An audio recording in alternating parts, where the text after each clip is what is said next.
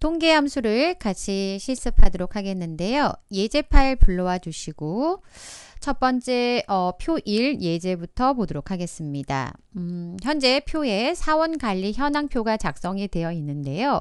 직급이 대리가 아닌 사원수를 D11셀에 계산하시오라고 되어 있습니다. 어, 조건에 만족한 데이터의 개수를 구하겠습니다. 라고 하시면 count if 함수를 사용하는데요. D11셀에 커서를 갖다 놓으시고요. 그 다음에 count if라고 입력합니다. count if 입력하신 다음 함수 삽입을 누르셔서요. 첫 번째 range는 직급에 가서 두 번째는 조건인데요.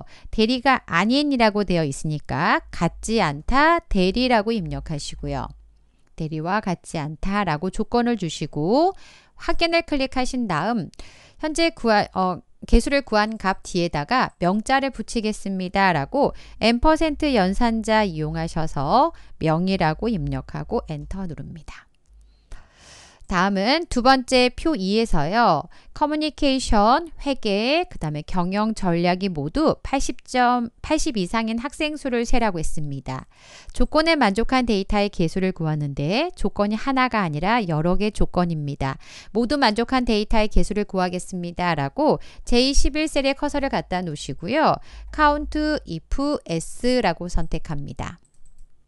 그 다음 함수 삽입에 가셔서 첫 번째 조건을 찾을 범위는 커뮤니케이션에 가서 조건은 어, 크거나 같다 80이라는 조건을 입력합니다. 다음 두 번째 조건을 찾을 범위는 회계를 선택하시고 크거나 같다 80이라고 입력합니다. 다음 세 번째 경영 전략을 선택하시고 다음 탭키를 누르시거나 스크롤 막대를 내리시면 돼요. 그거나 같다 80이라는 조건을 입력하셔서 첫 번째 조건 80보다 그거나 같고 두 번째 조건 어, 그거나 같다 80 세 번째까지 작성하셨습니다. 확인 버튼 누르시고요. 문제에서 구한 값 뒤에 명자는 없네요. 그러면 count if s까지만 사용하시면 되겠습니다. 다음 세 번째 문제를 보겠습니다. 표 3에서 상여금이 음, 150만 원보다 크면서 기본급이 기본급의 평균 이상인 인원수를 구하라고 했습니다. 조건에 만족한 데이터의 개수를 구하는데 평균값을 구해서 비교하도록 이 24셀에 커서를 갖다 놓고요. average라는 함수 그 다음 기본급에 대해서 평균값을 구하겠습니다. 라고 D15부터 D22 수식을 복사할 건 아니니까요. 그냥 가로 닫고 엔터. 다음은 음, 이 24셀에 커서를 갖다 놓고요. count if s라고 입력합니다. 조건이 하나가 아니라 두 개 조건에 모두 만족한 count if s 안쪽에 커서를 두시고 함수 삽입을 누르셔서 첫 번째 조건을 찾을 범위인데 average는 조건을 조건이기 때문에 범위 지정해서 control X 두 번째 칸에다가 control V 해 놓으시고요. 첫 번째 칸은 조건입니다. 어, 우리 기본급부터 조건을 줄게요. 기본급 영역에 가서요. 기본급 영역에 가서 두 번째 칸에 오셔서 조건을 쓸 건데 음, 평균 이상입니까? 라고 줄 거니까 크거나 같다 그 다음에 크거나 같다 입력하시고 원래는 큰 따옴표 뭉지 않아도 되는데요. 에버리지 함수는 함수식이고 그 다음에 조건식은 큰 따옴표 처리를 해야 하기 때문에요. 크거나 같다는 큰 따옴표를 묶어주시고 n% 연산자 이용해서 에버레지를 통한 구함 값보다 크거나 같습니까? 라고 조건을 줍니다. 그럼 오른쪽에 크거나 같습니까? 28만 8 어, 288만 1875보다 크거나 같습니까? 라고 값이 이렇게 비교될 거라고 미리 확인이 되실 거고요. 다음 음, 조건은 상여금에 가서 조건은 크거나 어, 보다 크면서라고 되어 있으니까 크다 150만 원에 해당한 값을 입력합니다. 그래서 150만 원에 해당한 값 입력합니다. 순서야 바뀌셔도 돼요. 어, 상여금 먼저 주시고 그 다음에 기본급 이렇게 주셔도 상관없습니다.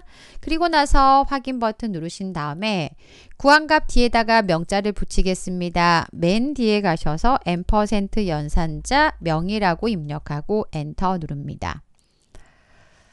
그래서 세 번째 음, count ifs를 통해서 조건에 만족한 데이터 개수를 구해 보셨고요. 다음은 네 번째 문제입니다. 홈런이 40개 이상인 선수의 삼진의 평균을 구하라고 했습니다. 어, 조건에 만족한 데이터의 평균을 구하겠습니다. 라고 하시면 average if 함수 사용하시면 되고요. 그러면 K24의 커서를 갖다 놓고요. 주어진 함수 중에 조건에 만족한 데이터의 평균을 구해라 라고 하면 average if 물론 어, count if와 sum if와 count if를 통해서도 평균은 구할 수 있습니다. 근데 average if가 있으니까 한 번에 구할 수 있고요. average if 입력하신 다음 음, 첫 번째 어, 함수 삽입에 가셔서 range, range는 조건을 찾을 범위입니다. 조건은 홈런에 가서 그 다음 두 번째 조건은 40 이상, 크거나 같다 40이라고 입력하시고 세 번째 어, 삼진의 데이터 선택하시고 평균을 구할 데이터 선택하시고 확인 버튼 누릅니다. 다음은 다섯 번째 예제를 보도록 하겠는데요. 음, 표 5에 월별 생산 현황표가 작성되어 있고요. 생산품 C에 대한 표준 편차를 어, 계산해서 표준 편차를 구하시오라고 되어 있고요. 표준 편차는 소수점 이하 두 자리에서 내림하여 한 자리로 표시하시오라고 되어 있습니다. 일단 E30셀에 클릭하시고 생산품 C의 표준 편차를 구하겠습니다. 라고 STDEVS를 선택하고 더블 클릭. 영역은 생산품 C가 있는 D29부터 D38 영역을 드래그 하시고 괄호 닫고 엔터. 다음은 구한값 뒤에 음, 내림하여 소수 한 자리까지 표시하겠습니다. 라고요.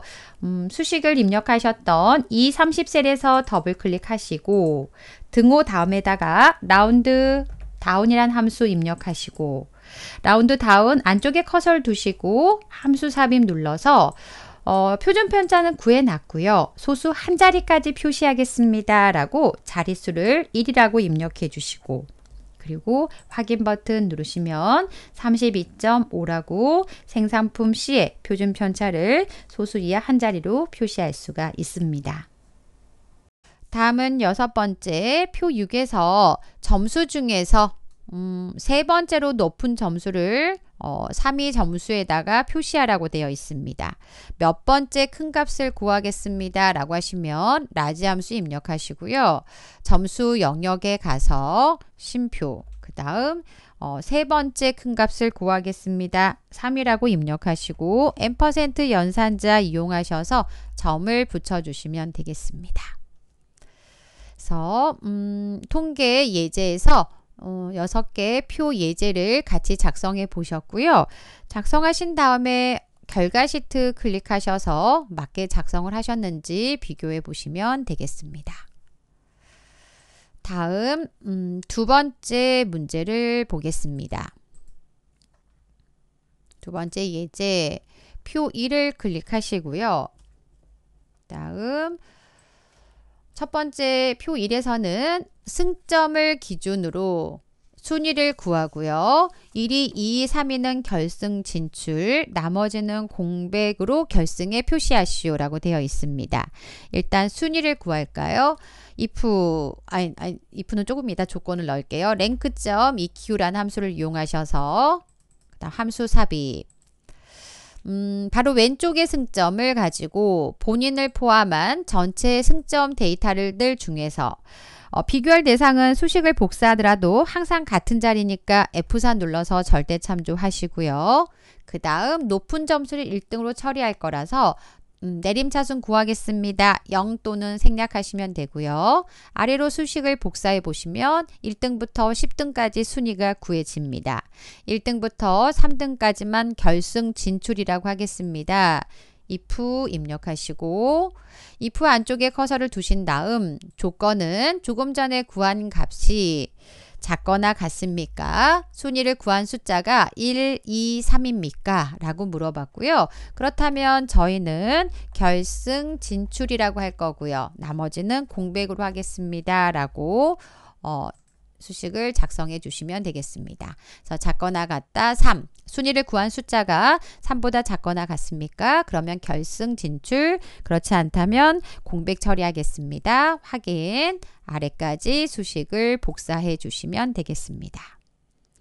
다시 표 2에서 성별이 여이면서 그 다음 직위가 과장에 해당한 사원들의 성과금의 평균을 구하라고 했습니다.